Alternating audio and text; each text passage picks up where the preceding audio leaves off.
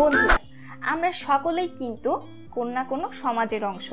আমরা সবাই সমাজে বসবাস করি, কিন্তু আমরা এই সমাজে বাস করতে গিয়ে অনেক সময় অনেক ধরনের সমস্যার সম্মুখীন হয়ে থাকি।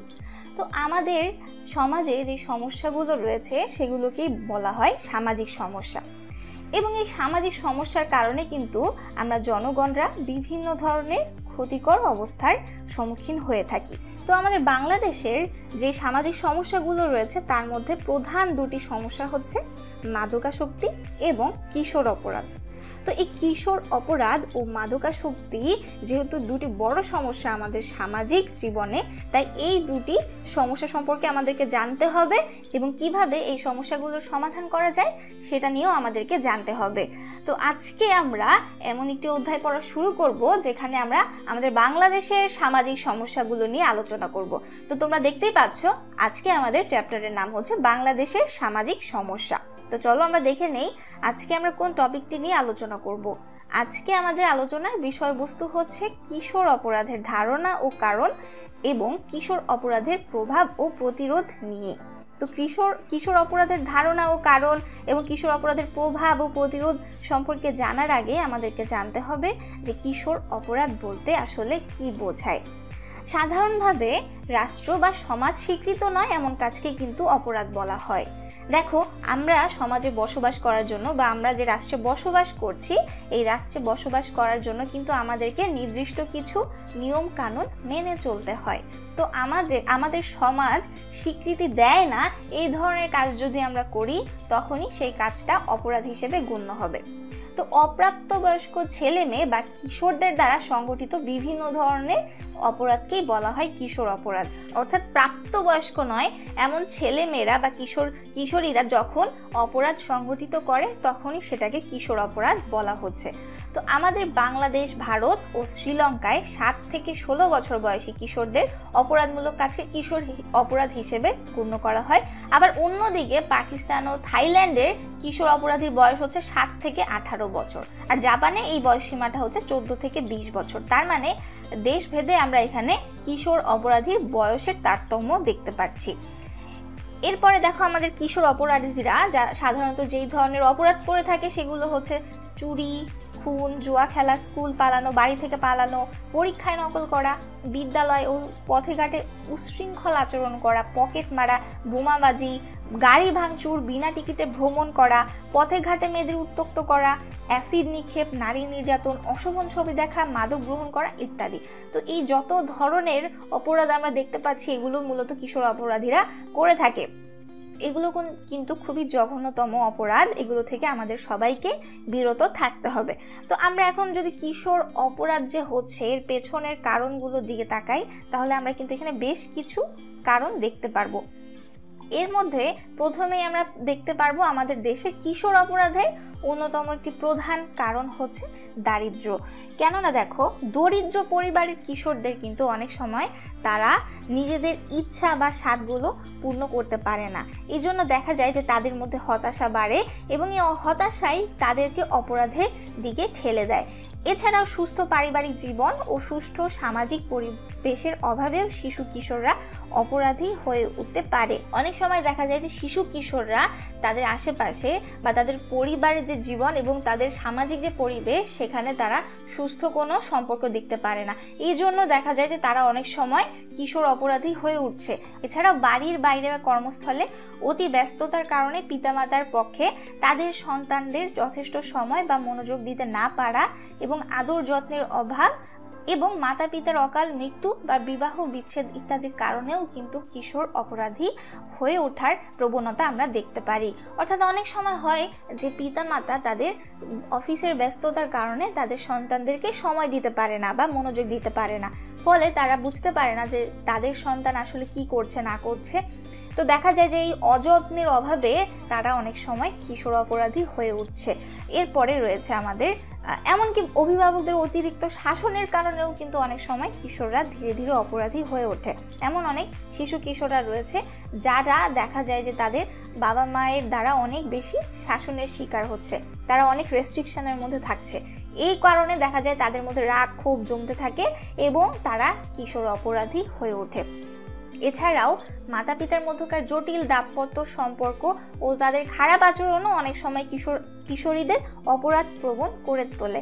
অর্থাৎ যখন শিশু কিশোররা দেখতে পায় যে তাদের মাতা পিতার মধ্যে সম্পর্কটা আসলে ভালো নেই, তারা অনেক সময় ঝগড়াঝাটি করছে।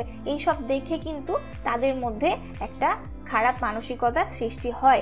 তাদের মধ্যে একটি দেখা যায় যে খারাপ প্রভাব লক্ষ্য করা যায়। তো এই জন্যেও কিন্তু কিশোর, কিশোরীরা অনেক সময় অপরাধ প্রবণ হয়ে ওঠে। এছাড়াও সংসার ত্যাগী, অপরাধী, দুশ্চরিত্র ও অযোগ্য ও উদাসীন মাতা পিতার সন্তানরাও পরিবারে অসংযত আচরণ করে এবং পরে অপরাধী হিসেবে বেড়ে ওঠে। এছাড়াও রয়েছে চিত্ত বিনোদনের অভাব। তো চিত্ত বিনোদনের অভাবের কারণেও কিন্তু অনেক কিশোর কিশোরীরা অপরাধী হয়ে ওঠে। দেখা যায় যে ছোটবেলা থেকেই খেলাধুলা, সংগীত চর্চা, ছবি আঁকা, শরীরচর্চা ইত্যাদি সাংস্কৃতিক কার্যাবলীর সঙ্গে যখন শিশু কিশোররা জড়িত থাকে না, সেই সময় কিন্তু তারা কিশোর অপরাধী হয়ে ওঠে। এছাড়া বস্তির পরিবেশ ও সেখানকার নানা খারাপ অভিজ্ঞতা শিশু কিশোরদের অপরাধী করে তোলে।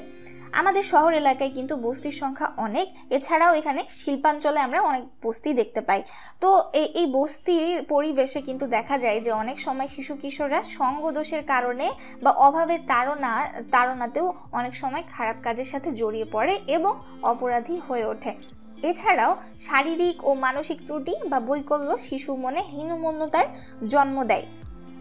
দেখা যায় যে অনেক সময় কোনো শিশু কিশোররা যারা, যাদের শারীরিক কোনো ত্রুটি আছে বা মানসিক কোনো ত্রুটি আছে, তখন তারা নিজেদেরকে অন্যদের থেকে ছোট মনে করতে থাকে। তাদের মধ্যে হীনমন্যতার জন্ম হয়। তো এইসব কারণেও কিন্তু দেখা যায় যে হতাশার কবলে পড়ে তারা অপরাধী হয়ে ওঠে। এছাড়াও আবার বেশি রকম আবেগপ্রবণ বা প্রতিভাবান শিশু কিশোররাও অনেক সময় অপরাধী হয়ে ওঠে। যেই কিশোর, কিশোরীরা একটু আবেগপ্রবণ তারা দেখা যায় যে অনেক সময় অপরাধী হয়ে উঠছে। আবার যেসব পিতামাতা বারবার কর্মস্থল পরিবর্তন করেন, তাদের সন্তানেরা কেউ কেউ নতুন পরিবেশের সাথে খাপ খাইয়ে নিতে পারে না। অর্থাৎ এমন অনেক সময় হয় যে বাবা মার যে কর্মস্থল, এটা অনেক সময় ট্রান্সফার হতে থাকে। তো এই কারণে দেখা যায় যে একটি শিশু তার পরিবেশের সাথে ঠিকমতো খাপ খাইয়ে নেওয়ার আগেই তাকে আবার তার অবস্থানটা পরিবর্তন করতে হচ্ছে। এর কারণে নতুন পরিবেশে খাপ খাইয়ে নিতে তাদের সমস্যা হয় এবং যার কারণে তাদের মধ্যে একটি অপরাধ প্রবণতা আমরা দেখতে পারি। আবার বর্তমানে মোবাইল ও ইন্টারনেটের অপব্যবহারের ফলেও সমাজে এক ধরনের কিশোর অপরাধ দেখা যাচ্ছে। আমাদের বর্তমানে যে তথ্য প্রযুক্তি, এগুলোর কিন্তু খারাপ দিকও আছে, ভালো দিকও আছে। তো কেউ যদি এর খারাপ দিকটা গ্রহণ করে, তাহলে কিন্তু এর ইন্টারনেটের অপব্যবহারের মাধ্যমে তারা দেখা যায় যে কিশোর অপরাধের সাথে জড়িয়ে যায়। তো এই তো গেল কিশোর অপরাধের কারণ। এখন যদি আমরা কিশোর অপরাধের প্রভাবের দিকে তাকাই, তাহলে আমরা দেখব যে কিছু যে কিশোর অপরাধীরা রয়েছে, তারা অনেক সময় দল বেঁধে ডাকাতি এবং ব্যবসায়ীদের কাছ থেকে জোরপূর্বক চাঁদা আদায় করে থাকে এবং কখনো কখনো তো তারা খুন পর্যন্ত করে থাকে। তার মানে এই যে কিশোর অপরাধের যে প্রভাব, এটা যে কতটা মারাত্মক, এটা কিন্তু আমরা বুঝতে পারছি। আবার যে পরিবারে এরকম কিশোর অপরাধী আছে, তাদের পারিবারিক শান্তিও বিনষ্ট হয়। কেননা দেখা যায় যে অনেক সময় কিশোর অপরাধীরা তাদের মাদকের টাকা জোগাড় করার জন্য তাদের বাবা মার সাথে খারাপ ব্যবহার করছে। এর ফলে আশেপাশের যে প্রতিবেশীরা, তারাও কিন্তু দেখা যায় যে তাকে নিয়ে একটি তাদের, তাকে ঘৃণার চোখে দেখতে থাকে। তো এর ফলে কি হয় যে কিশোর অপরাধী যেই পরিবারে আছে, সেই পরিবারের যে সুখ শান্তি, এটা কিন্তু নষ্ট হয়ে যায়। আবার কখনো কখনো বাংলাদেশের শহর ও গ্রামাঞ্চল সর্বত্রই কিশোর অপরাধীদের দ্বারা মেয়েদের উত্তত্ত করার ঘটনা আমরা শুনতে পারি। এদের কারণে দেখা যায় যে মেয়েরা নিরাপদে স্কুল, কলেজ ও মাদ্রাসাতে যাতায়াত করতে পারছে না। আবার বখাটে কিশোরদের অন্যায় প্রভাবে সাড়া না দিলে তারা মেয়েদের অপহরণ, শারীরিক নির্যাতন বা তাদের উপর অ্যাসিডও নিক্ষেপ করে থাকে। তার মানে এখানে আমরা দেখতে পাচ্ছি যে কিশোর অপরাধীরা কিন্তু কিশোর অপরাধীদের দ্বারা অনেক সময় মেয়েদের অপহরণের ঘটনা ঘটছে, শারীরিক নির্যাতনের ঘটনা ঘটছে, অ্যাসিড নিক্ষেপের ঘটনাগুলো ঘটছে। এগুলো কিন্তু আমরা প্রায় সময়ই শুনতে পারছি। আবার প্রতিবাদ করতে গিয়ে অনেক সময় অভিভাবকরাও তাদের আক্রমণের শিকার হয়। যখন কোনো মেয়ের বাবা মা প্রতিবাদ করতে যায় অপরাধীর বিরুদ্ধে, তখন দেখা যায় যে তাদেরকেও আক্রমণের শিকার হতে হচ্ছে। তো এইসব বখাটের উৎপাতে কখনো কখনো ছাত্রীদের পড়ালেখা বন্ধ হয়ে যায়। কিশোর অপরাধীর অনেক সময় মাদকাসক্তি ও অন্যান্য খারাপ অভ্যাসের সঙ্গে জড়িয়ে থাকে। অর্থাৎ এই যে বখাটেরা মেয়েদেরকে উত্তক্ত করছে, এদের কারণে দেখা যায় যে অনেক সময় মেয়েদের পড়াশোনাই বন্ধ হয়ে যাচ্ছে। আবার দেখা যায় যে কিশোর অপরাধীরা অনেক সময় বিভিন্ন ধরনের মাদক গ্রহণ করে থাকছে। তারা মদ খাচ্ছে, গাঁজা খাচ্ছে বা ইয়াবা খাচ্ছে যে এই যে, এই ধরনের মাদকাসক্তির সাথে তারা জড়িয়ে পড়ার মাধ্যমে তারা আরও অন্যান্য খারাপ অভ্যাসের সাথেও জড়িয়ে যাচ্ছে। তো এই যে কিশোর অপরাধের যে প্রভাব আমরা দেখলাম, এই প্রভাবগুলোর প্রতিরোধের উপায়গুলো আমাদেরকে এখন জানতে হবে।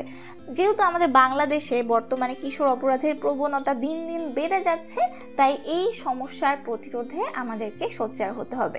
প্রথমে আমাদেরকে যেটা করতে হবে, সেটা হচ্ছে অভিভাবকের সচেতনতা ও দায়িত্ব বৃদ্ধি করতে হবে।